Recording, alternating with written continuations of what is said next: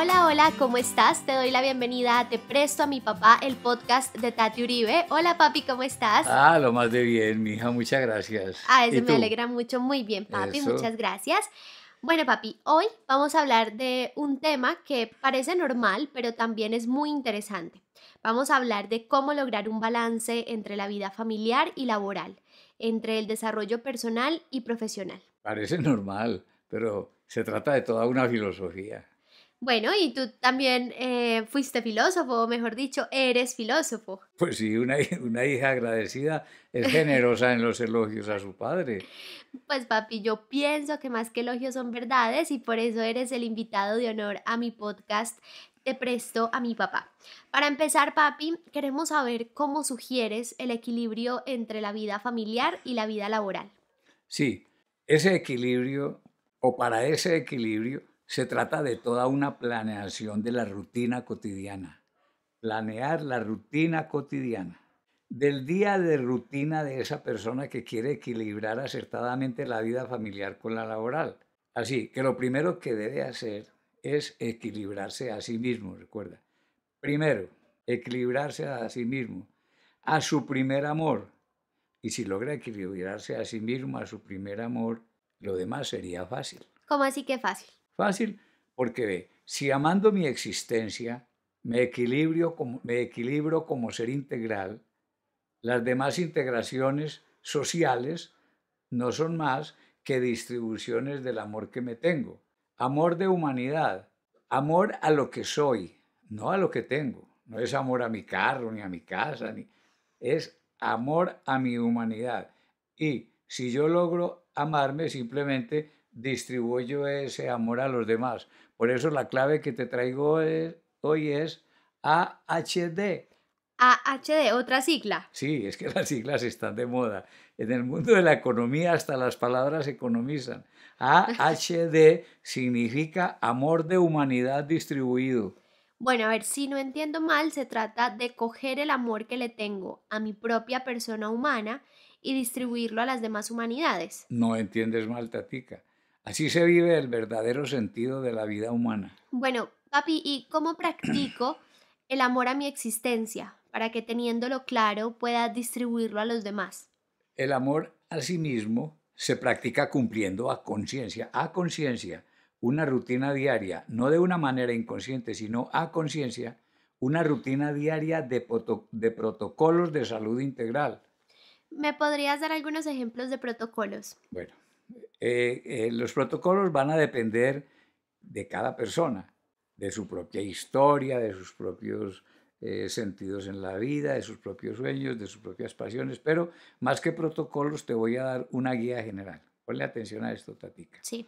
Todo mundo, toda persona, al despertar después de una jornada de sueño reparador, se debe decir, se debe pensar y debe decidir. Decirse, pensar y decidir que vivirá su propio ser atendiendo a lo que es, a lo que le hace sentir común con los demás, a lo propio como humano.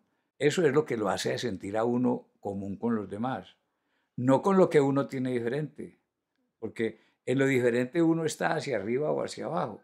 Si uno vive en la diferencia, vivirá en el ahogo del egoísmo. Si uno se ve más abajo, en el ahogo de la envidia. Si uno se ve más arriba, en el ahogo de la indolencia. Entonces, yo me puedo pensar es como yo, como Alberto, no como que tengo un carro que tengo una casa, porque si tengo casa, otros no las tienen. Y si tengo un carro, otros tienen aviones. Entonces yo tengo que mirarme es como Alberto. Y como Alberto, ahí sí soy igual a los demás. Papi, si no soy de arriba ni soy de abajo, ¿en qué estoy equilibrada con los demás? Hay muchas cosas, te voy a decir algunas para que aprendamos a encontrarlas. Esa tiene que encontrarlo cada uno. Por ejemplo, en que cada día tengo 24 horas. Ningún rey ni ningún mendigo tienen ni más ni menos de 24 horas al día. Y los demás humanos desean satisfacer las mismas necesidades que yo deseo satisfacer en esas 24 horas. Yo tengo hambre, yo tengo sed, todo el mundo tiene hambre, tiene sed. Yo tengo sueños, todo el mundo tiene sueños. En eso, en eso empezando porque tengo 24 horas en eso, soy igual a los demás. Papi, creo que si son iguales para todos deben ser muy conocidas estas prácticas. Así es, son muy conocidas. Al levantarte, haces unas reflexiones acerca de tu ser y te haces unas metas diarias. Luego haces el aseo general de la superficie del cuerpo, pues uno se baña al levantarse. Luego se hacen ejercicios para la oxigenación, para la armonía del cuerpo y para la movilidad, la agilidad. Luego viene la, alimentación, que es muy variable, pero ¿cómo la sugiero yo? Que sea excelente al inicio de la jornada laboral, o de trabajo, o de, vida despierto. A la media jornada, una comida normal, y al final de la jornada, de la jornada, una comida discreta, porque generalmente llega el inicio del dormir recuperador, por ejemplo, la noche. No sobra recordar que la rutina se puede lograr diciendo y pensando lo que se quiere, porque uno dice, no, es que yo no tengo una rutina. Hay que hacerla, tatica, hay que hacer una rutina. Y, si uno no la tiene, uno la va logrando. ¿Cómo? Por partes, desde lo pequeño hacia lo grande. Se escribe la rutina, que, que, no, que no tengo la rutina de bañarme todos los días. Pues empieza a bañarte. Hombre, que un minuto, dos minutos, tres minutos, pero en todo caso que, que el cuerpo reciba, que todo el cuerpo reciba el agua poco a poco. Tienes que ir viviendo la rutina en cada día, aquí, ya mismo. Otra cosa que hay que hacer todos los días para poder lograr una rutina, ejercitando el desprecio a esos pensamientos subconscientes que tratan de apartarlo a uno de la realidad de aquí y ahora, que son, que son como unos duendecillos que se meten, porque como uno en todo momento tiene su pasado detrás de uno, hay cositas que, que, oyó ayer, que oyó antier, que hace un año le, le lo confundieron. Entonces van apareciendo y lo quieren sacar. Quiero que sea consciente de esa rutina diaria para poder lograr este método que estoy diciendo. Bueno, y esa es la rutina como de amor para mí. Ahora, para la familia, ¿qué hacemos ahí? Pues primero, pues, que quede claro. Me amo a mí mismo ¿Cómo demuestro el amor? Es demostrar el amor, haciendo una rutina que cuide mi salud, que cuide mi felicidad, mi vida, mi tranquilidad. Entonces, luego voy a pasar ese amor hacia la familia. Primero que todo, voy a decirte que voy a entender en, esta, en este diálogo, voy a entender como familia ese nicho acogedor donde vivo a diario mi relación humana, ese nicho, cualquiera que sea los hermanos, los padres con los hijos, las parejas, lo que sea. Después de mí es el que sigue en orden de prioridad. Ese nicho es el dueño de mis energías y es para ese nicho que cuido mi, es para ese nicho que cuido mi integridad. Inclusive ese nicho es el que le da sentido a la vida y, y es el que le da entusiasmo al trabajo. Verás, Tatica, que en la integración de la vida familiar y la vida social, hay que tener cuidado de mantener lo familiar sobre lo laboral, pase lo que pase. Así como yo primero mantengo lo personal sobre lo familiar, después tendré que aprenderlo a tener lo familiar sobre lo laboral. ¿Tú has tenido o has estado alguna vez frente a la necesidad de tener que escoger entre la vida familiar y el trabajo? Ah, yo ya sabía que me harías esa pregunta porque te gustan mis historias, eso es pura curiosidad. Curiosidad científica, papi. Bueno, entonces para satisfacer tu curiosidad científica, te cuento que una vez falté a una reunión de profesores.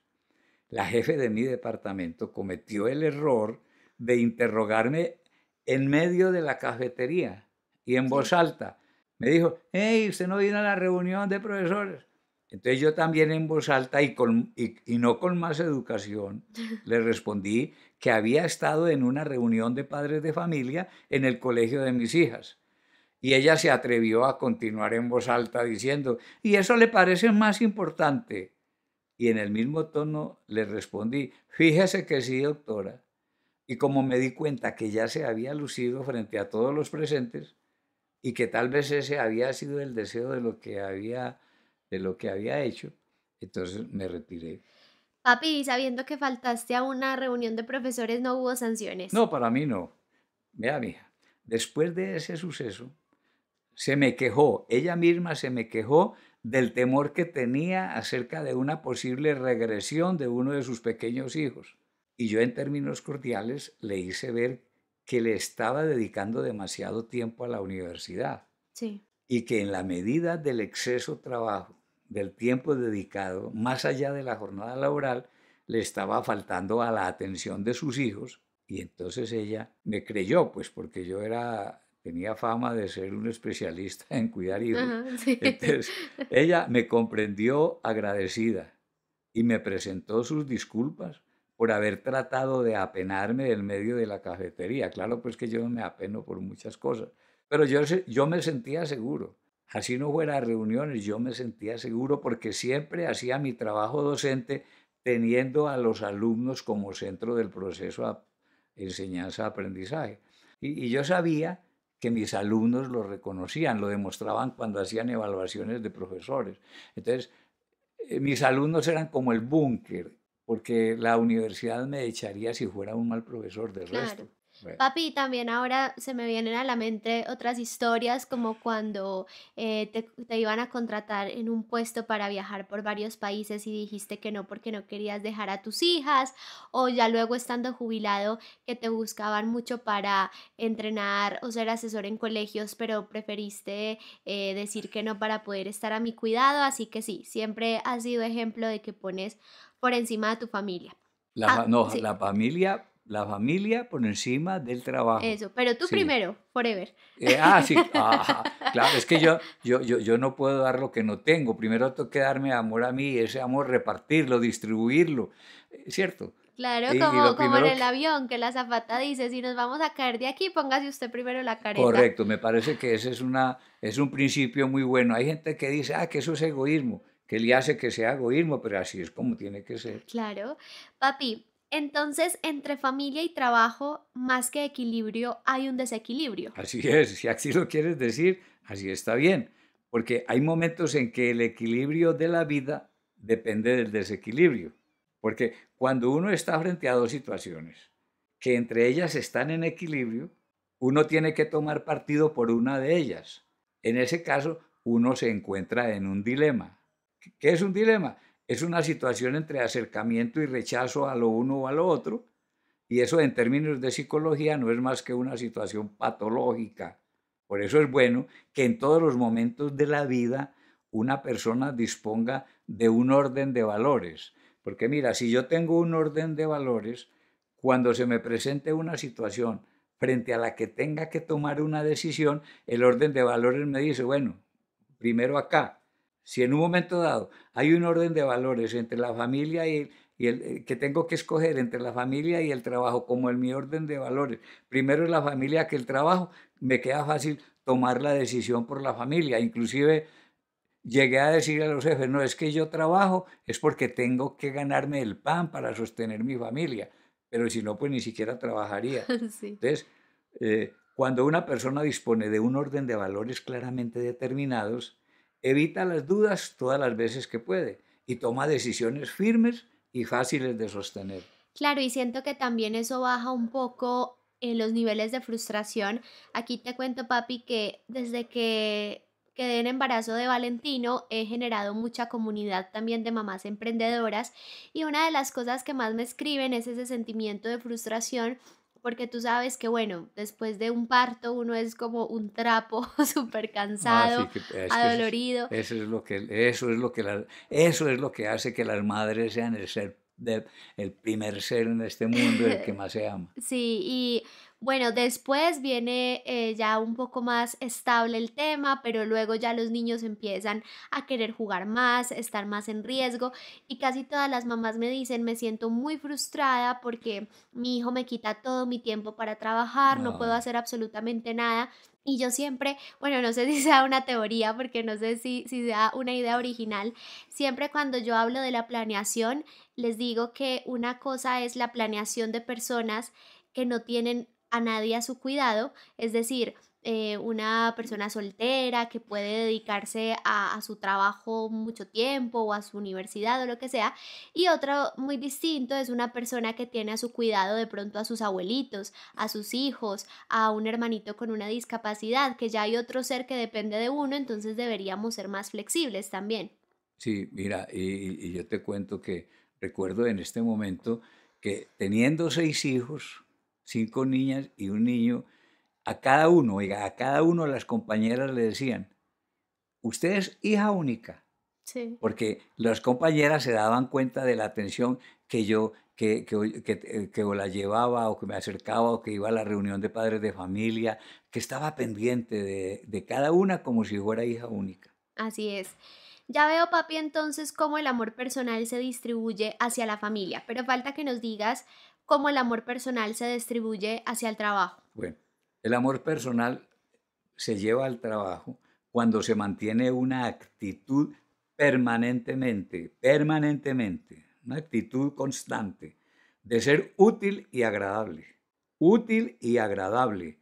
Se es útil cuando se estudia la, la actividad laboral hasta tanto se tenga la perfección que le permita a los usuarios, a los que reciben el efecto de mi trabajo, de lo que estoy haciendo que les permita sentir satisfacción, confianza, efectividad, eficiencia de lo que yo estoy haciendo. Se es útil cuando, cuando la, el usuario de lo que estoy haciendo queda satisfacción. Por esta razón, considero, por ejemplo, que estudiar, eh, la, eh, la tarea de estudiar es parte de la vida laboral porque el estudio, la investigación, el ejercicio eh, repetitivo de las funciones va perfeccionando nuestra vida laboral. Ser útil es ser un buen trabajador en todo el sentido de la palabra. Y ser agradable es mantener la relación humana empática con todos los miembros del puesto de trabajo, con su contexto, con los, con los de las empresas relacionadas, con los jefes. Entonces, útil hacer bien el trabajo, agradable mantener una relación humana empática con todos los que estén alrededor. Así es, yo sé que siempre has insistido en que seamos útiles y agradables, sabedores, pero también buenas personas, un ser integral. Pero papi, nos falta algo. ¿Qué será, mi? Bueno, el balance entre el desarrollo personal y el profesional. Bueno, eh, eh, el balance entre el desarrollo personal desarrollo mío y, el desarrollo profesional. Sí. en este momento yo veo que a través de los podcasts titulados Te presto a mi papá, hemos aconsejado buscar que todas nuestras acciones se vayan dirigiendo a una vida apasionada, que todos los momentos de nuestra vida personal, laboral y familiar, y familiar estén guiados por lo que nos apasiona, Hubo inclusive un podcast por allá que titulamos ¿Cómo encontrar la pasión? Entonces, te digo lo siguiente. Todo lo que hagamos con pasión nos está llevando a niveles más altos. Si nos apasionamos con nuestra vida y nuestro trabajo, estaremos frente a vida personal y a profesional de un envidiable balance. Entonces, el balance se da como consecuencia de una vida de amor bien distribuido. Si yo trabajo con pasión, yo estoy, estoy desarrollando mi persona. Y si trabajo con pasión, estoy desarrollando mi vida profesional porque soy una persona que trabaja apasionada. No sé si me hice entender que veo las imágenes como muy, no, muy de Sí, ah, bueno, me alegra, es que pues claro, hija de quien, hija de tigre sale pintada. Bueno, papi, muchísimas gracias por habernos acompañado en este episodio. Creo que hay mucho mucho contenido de valor acá y sobre todo entender eso, que siempre que tengamos una escala de valores bien definida, ese equilibrio desequilibrado va a funcionar muy bien. ¿Algo más que decir? Que, yo cuando, cuando me meto en temas así como de filosofía o que hablo de cosas así como, eh, siempre como que me queda la necesidad de esperar que, que me hagan preguntas, ¿cierto? Cuando estoy conversando con alguien sobre temas así como que hay que meterle mucha filosofía, yo espero como que me hagan preguntas. Tú puedes decirle a tu comunidad que si tienen preguntas sobre temas así difíciles, que a veces hablo yo, o, enredados, porque uno a veces no está pues todo el día como para, para explicar claramente, que hagan las preguntas y les ayudamos respondiendo, aclarando. Sí, mi papá, en estos días yo estaba viendo un episodio en YouTube Em, y vi los comentarios y cuando vi ya mi papá les había respondido un montón. Entonces si tienen preguntas pueden ir al episodio que va a estar. Saben que siempre lo tenemos en Spotify y en YouTube, pero como en Spotify no pueden dejar comentarios directamente, en YouTube sí pueden dejarlos con sus preguntas, inquietudes, quejas y reclamos. que ahí mi papá les va a estar respondiendo. Bueno, papi, ¿algo más? Eso, aquí listo a responder las tutelas. bueno, mira, siempre a la orden. Muchas gracias. Aquí estamos. Y bueno, y recuerda que siempre te espero en mis redes sociales donde me encuentras como Tati Uribe M y que nos escuchamos el próximo martes por YouTube y por Spotify. ¡Feliz día!